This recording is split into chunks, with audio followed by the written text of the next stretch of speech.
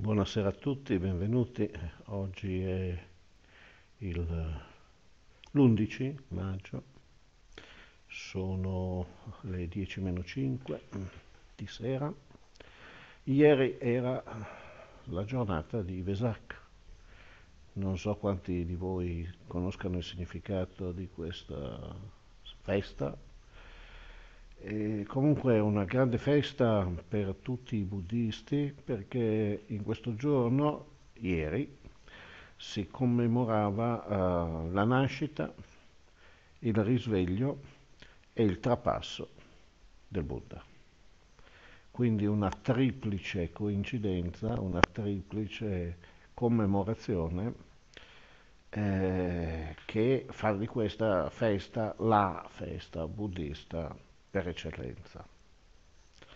Vesaka eh, è un mese, non ha una, un significato particolare, eh, vuol dire, viene dal sanscrito, la parola significa diramato e probabilmente allude alla costellazione dell'Ariete che il Sole attraversa nel periodo in cui si celebra il Vesak.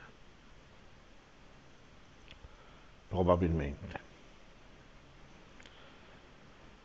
Uh, adesso non, non, voglio entrare in questa spiegazione che tutti sono convinti che, siamo, che in questo periodo ci sia la costellazione del toro, non è vero a causa della precessione degli equinozi, cioè un fenomeno che tutti gli scolaretti dovrebbero conoscere, il, uh, il Sole entrerà nel toro il 15 maggio, quindi attualmente il Sole sta ancora attraversando il segno dell'Ariete. Vabbè, precessione degli equinozi a parte, è una festa che festeggia tre momenti importanti della vita del Buddha, la nascita, il risveglio il trapasso. È come se durante questa, questa festa tra, um, commemorasse eh, il, um, dice, un momento di passaggio da uno stato a un altro. No? Eh, dallo stato non manifesto al manifesto con la nascita, dallo stato di, non, di eh, nescenza allo stato di risveglio con il pieno risveglio, dallo stato di manifesto di nuovo all'immanifesto con il trapasso. Quindi è, effettivamente è una eh, celebrazione di un, di un passaggio, di un momento di cambiamento di stato.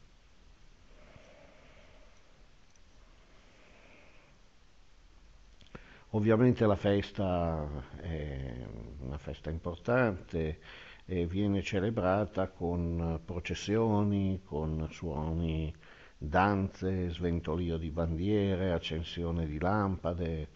Eh, molto bella la festa del Vesak, molto allegra, molto um, sentita. E,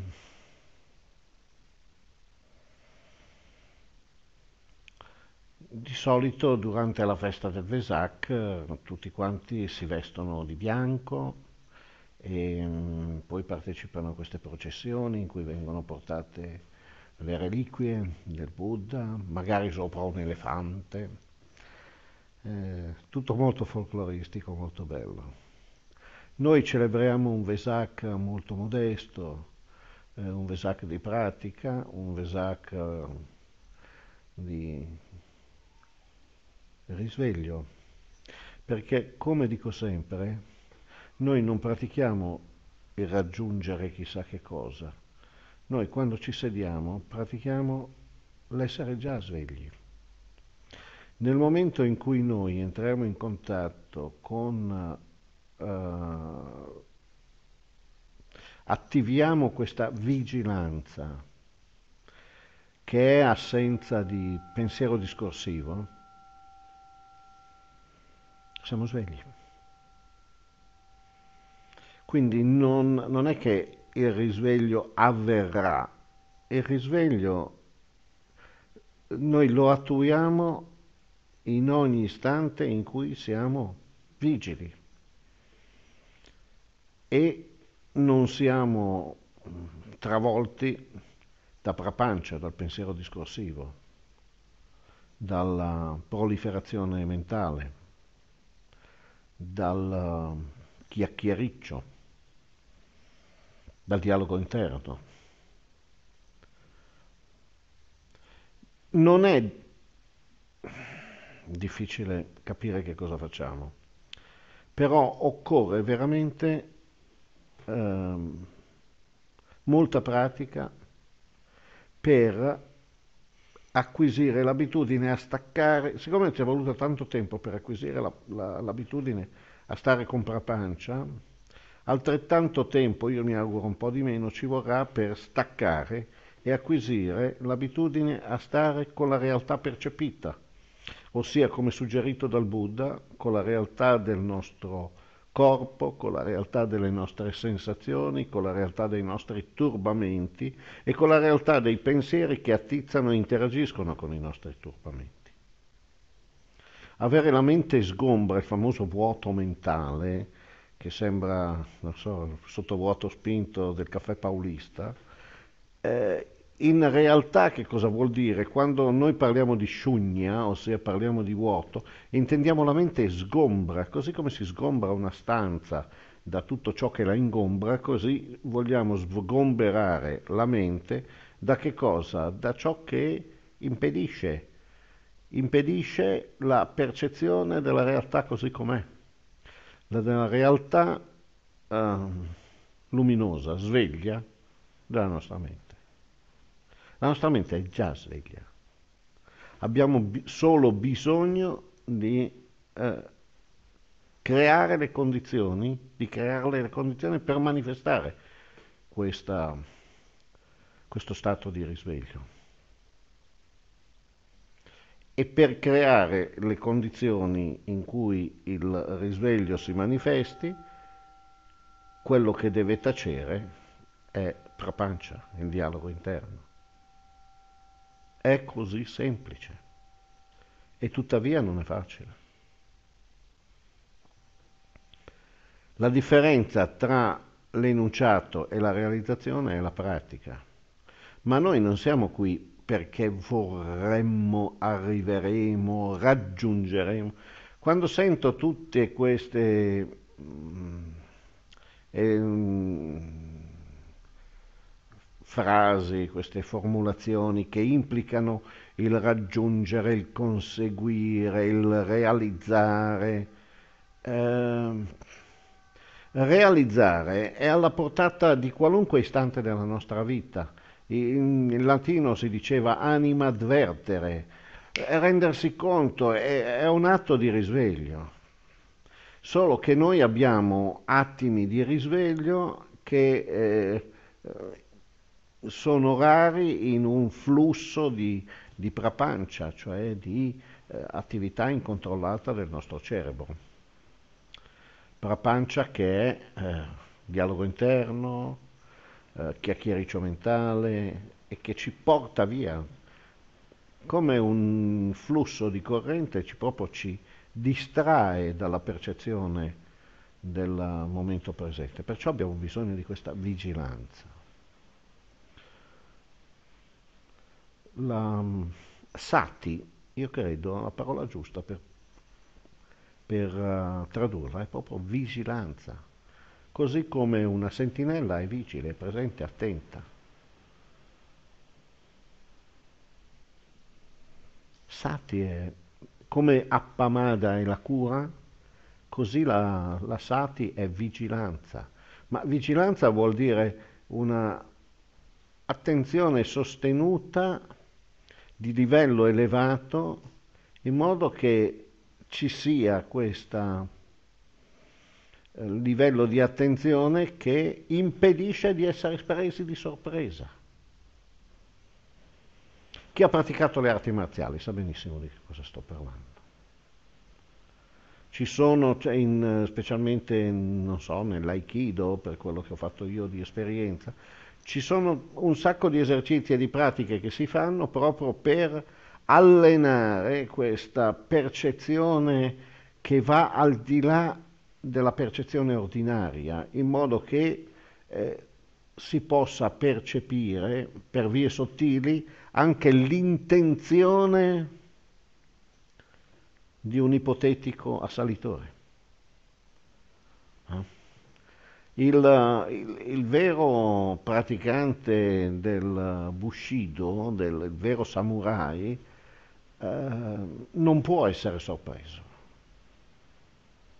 Perché se anche è seduto, è seduto vigile e prima che il suo eventuale assalitore si muova, lui ha già percepito l'intenzione di quello di assalire. Questa è Sati. È una completa, piena attenzione alla realtà percepita del momento presente. Il mio cane è capace di questo. Come dico spesso, no? lui sembra che sonnecchi, ma in realtà è molto attento, è molto attento soprattutto ai rumori.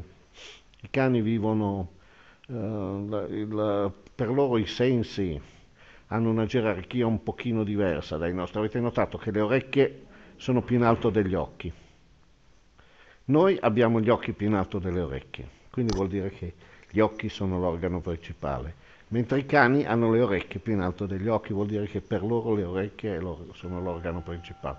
Poi hanno un vistoso naso, perché il naso anche è un organo percettivo per loro molto importante. Ma quello che ho osservato io del cane è che lui nei momenti di ozio evidentemente non apra pancia. Lui è occupato ad essere vigile. Quindi, anche se è rilassato, anche se è semi-addormentato, ha comunque un'attenzione che gli consente di percepire una minima variazione nel, uh, nel movimento, nel suono, de, nel, nel, nello svolgersi dei suoni, se un suono eh, che, del, del, circostante, per esempio io abito al piano terreno di una, di una palazzina dove ci sono quattro piani e quindi davanti alla mia porta passano tutti quelli che abitano nei piani superiori. E quindi sono diverse persone perché tre per, appartamenti per piano fanno un certo numero di persone. Lui all'inizio, quando era cucciolo, abbaiava spesso poi dopo ha imparato a riconoscere i vari passi.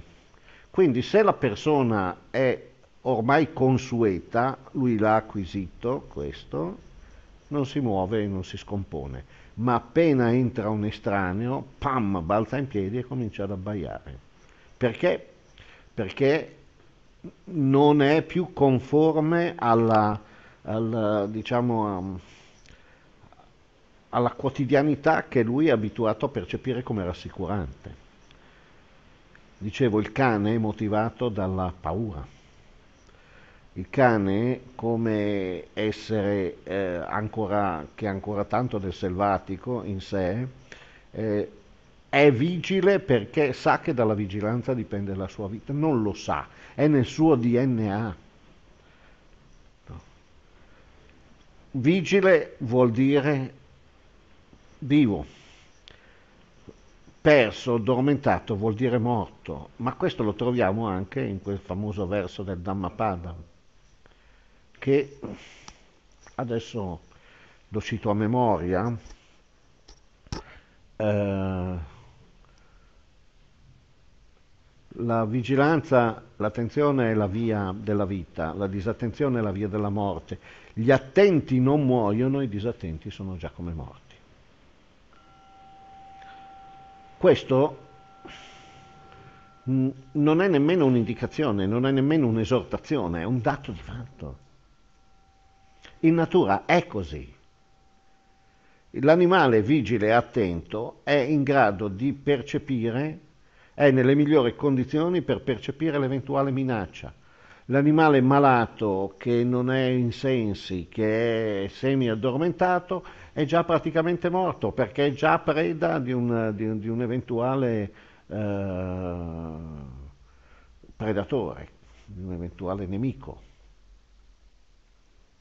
Perciò, dicevo, il cane ha bisogno di motivare, non ha bisogno di motivare la sua vigilanza. Nel suo DNA c'è questa istruzione, questo codicillo che gli dice stai attento perché eh? vigile vuol dire vivo. Noi no, noi abbiamo perso questa cosa, anzi ci siamo innamorati di Prapancia, ci siamo innamorati della proliferazione. Il uh, dialogo interno è diventato un dialogo costante con questo che noi crediamo sia una specie di amico interno e invece è il nostro peggiore nemico, perché è quello che ci distrae dalla porta d'ingresso nella realtà che è la percezione. Noi non percepiamo più, fuori come adesso possono esserci tuoni e fulmini, ma se siamo in prapancia non sentiamo più niente. Perciò noi abbiamo bisogno di automotivarci ad essere vigili. Una cosa che è naturale per il cane, noi abbiamo bisogno di eh, metterci dell'impegno. E questo è Sammavayama, il retto sforzo di cui si parla nel um, uno degli elementi dell'ottuplice sentiero. Se non ci sforziamo di essere vigili, se non ci impegniamo ad essere vigili, la vigilanza non viene da sé. Abbiamo bisogno di attivarla con questo impegno che deve essere retto, bisogna essere eh, giustamente, rettamente attenti, perché se no bye bye. Eh, bye bye non chissà che cosa, bye bye papancia, papancia è, è l'anticamera del sonno, il sonno è l'anticamera della morte. Come diciamo, argomento per la giornata del Vesac, questo mi sembra abbastanza, um, abbastanza pertinente. Volevo però entrare un pochino in dettaglio um, quando noi siamo attenti, siamo vigili, in realtà che cosa facciamo? Portiamo la nostra mente ad essere più attenta a che cosa? A, a, a sperimentare. La vigilanza non è un'attenzione focalizzata, è un'attenzione generalizzata pronta come quella del cane a cogliere qualunque anomalia ci sia in giro. Finché le cose sono uh, quelle ordinarie, che non esce da, da, dall'ordinaria amministrazione, il cane non si attiva. Però se c'è qualcosa che fuoriesce, un rumore, un passo, uno scricchiolio, uno sbattere di una porta che non fa parte del, della cosa ordinaria, tac, subito no? c'è l'allarme, allarme. No? E questo è quello che fa una sentinella.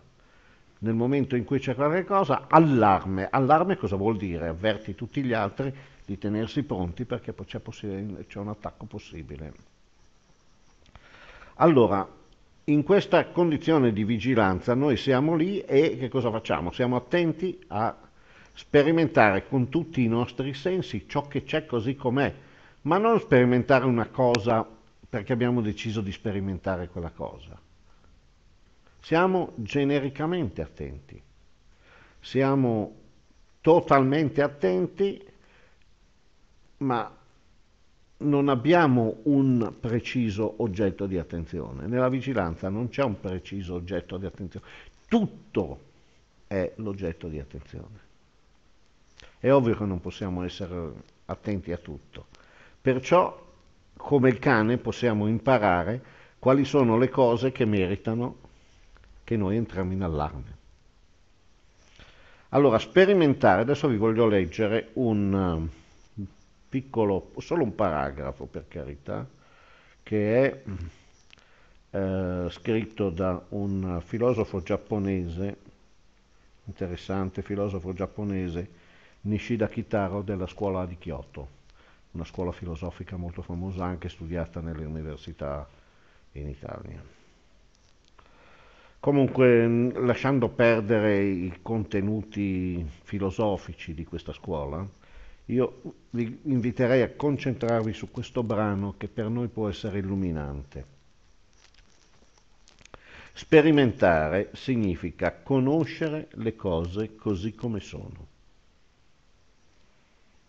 Significa conoscerle mettendo completamente da parte i propri artifici ed essere guidati dalle cose stesse.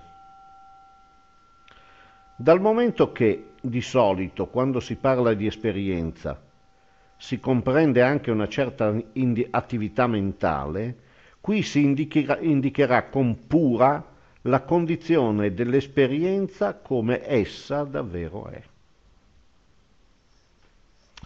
Allora, senza l'aggiunta del benché minimo pensiero o della benché minima riflessione. Eh. Allora, lui parla, qui vuole, definisce quello che lui chiama esperienza pura. Oh. Per esempio, quando vediamo un colore o sentiamo un suono, L'esperienza pura è quella del momento precedente, non soltanto all'aggiunta del nostro giudizio sul suono o sul colore, circa la provenienza esterna di ciò che vediamo o sentiamo o qualunque sensazione che proviamo, ma è precedente persino all'identificazione stessa del colore o del suono.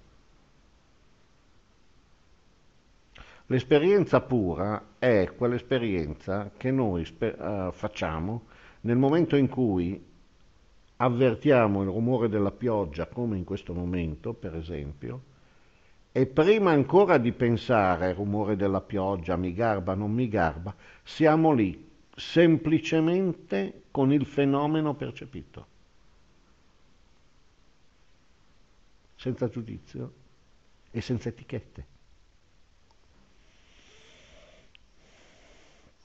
Esperienza pura è dunque sinonimo di esperienza diretta. Quando si sperimenta il proprio stato conscio, il proprio stato vigile, hm, è la stessa cosa, non c'è soggetto né oggetto.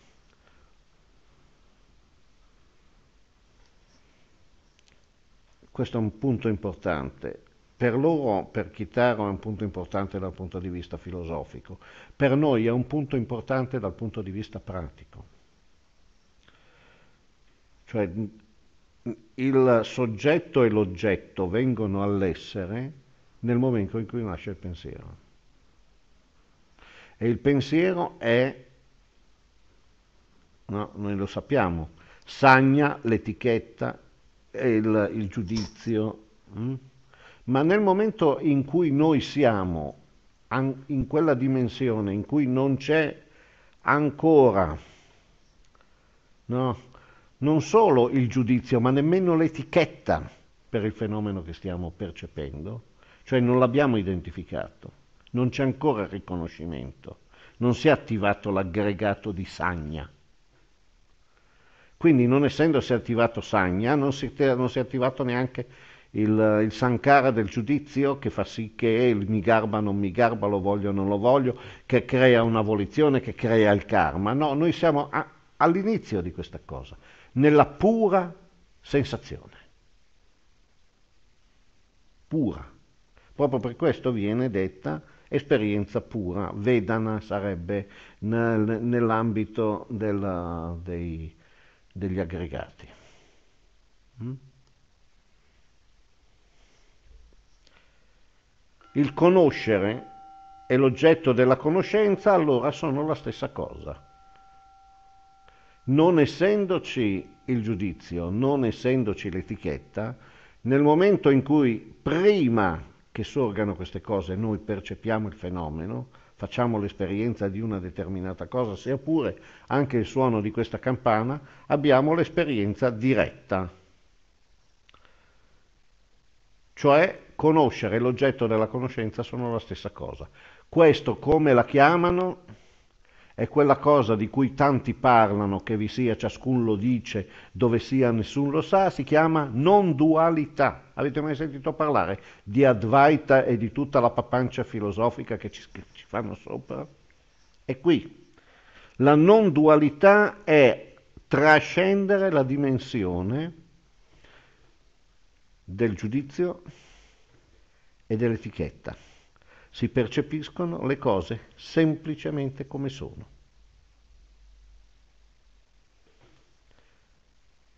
senza più alcuna mediazione ed è per questo che la percezione è diretta e quindi immediata, perché non è più mediata, non è più mediata dai nostri, dai nostri concetti no? e dai nostri giudizi. Questa è la più pura forma di esperienza, cioè, aggiungo io, insomma, Vesak è quella del Buddha. Il Buddha sperimenta le cose senza etichetta e senza giudizio.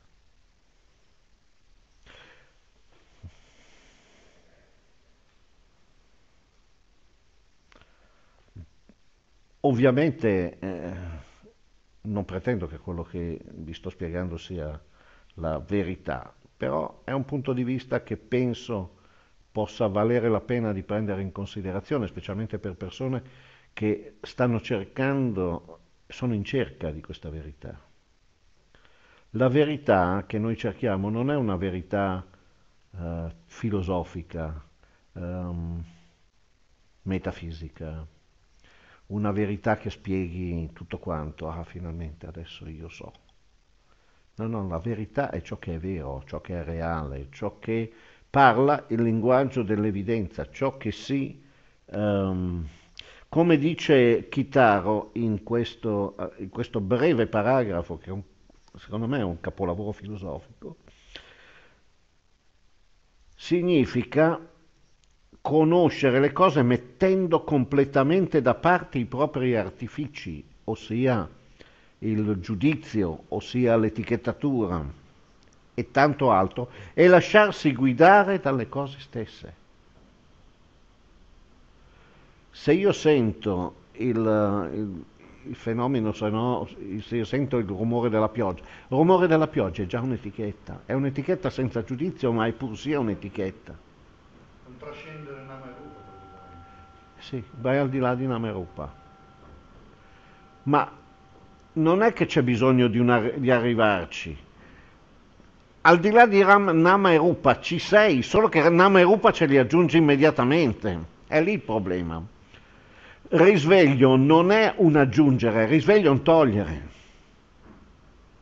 Per, per, arrivare all'esperienza diretta bisogna togliere quello che noi aggiungiamo all'esperienza diretta, cioè il giudizio e uh, l'etichetta. Poi c'è l'etichetta con giudizio alle frittata, già belle fatta.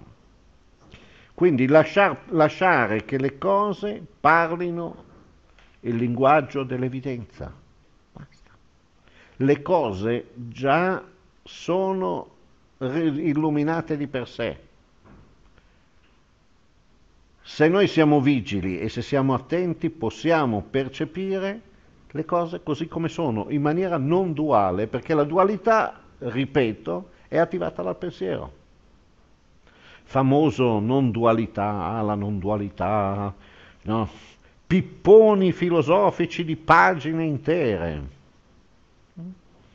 Ma la non dualità è la nostra condizione naturale se riusciamo a sospendere oltre al giudizio anche tutta l'etichettatura. Le voilà.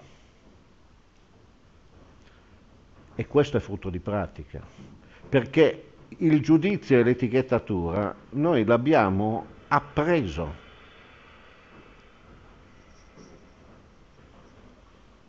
Abbiamo appreso questo. Ci sono voluti tanti anni Quando eravamo bambini e chiedevamo alla mamma, ta, e, e, la mamma ci diceva l'etichetta, la luce, la lampadina, il muro, la sedia, sì, questo è la pappa, questo è il papà, questa è la nonna, eh? E poi, ah, questo, quello è brutto, cacca, cacca, cacca, quello non si tocca. Cioè ci hanno praticamente, da, sulla base di quello che noi percepivamo non dualmente, hanno costruito tutto un mondo duale fatto dal nostro pensiero. Quindi noi abbiamo bisogno di ritornare a quello che già siamo stati. Questo è anche il grande significato esoterico, se volete, mi permetto di usare questa parola, che sta dietro il, uh, quel famoso eh, detto di Gesù che dice finché voi non diventerete come questi piccoli non riuscirete ad entrare regno, nel regno dei cieli. E il regno dei cieli qual è? È il, è il luogo, il momento in cui noi percep- non percepiamo la non dualità, non percepiamo più la dualità e non percependo più la dualità c'è la non dualità, ma la non dualità non possiamo percepirla perché se, percepi- se riusciamo a percepire questo non è duale, allora vuol dire che siamo nella dualità. Capito dove casca? Ecco, va bene. Uh, sabbiti ovi vajjantu, sabbarogo vinassatu, mate bhava tvantarayo sukidiga yukobhava, Bhavatu Sabba Mangalam Rakkantu Sabba Devata Sabba Buddha Nubhavena Sadasoti Bhavantute Bhavatu Sabba Mangalam Rakkantu Sabba Devata Sabba Dhamma Nubhavena Sadasoti Bhavantute Bhavatu Sabba Mangalam Rakkantu Sabba Devata Sabba Sangha Nubhavena Sadasoti Bhavantute Sadhu, sadhu, sadhu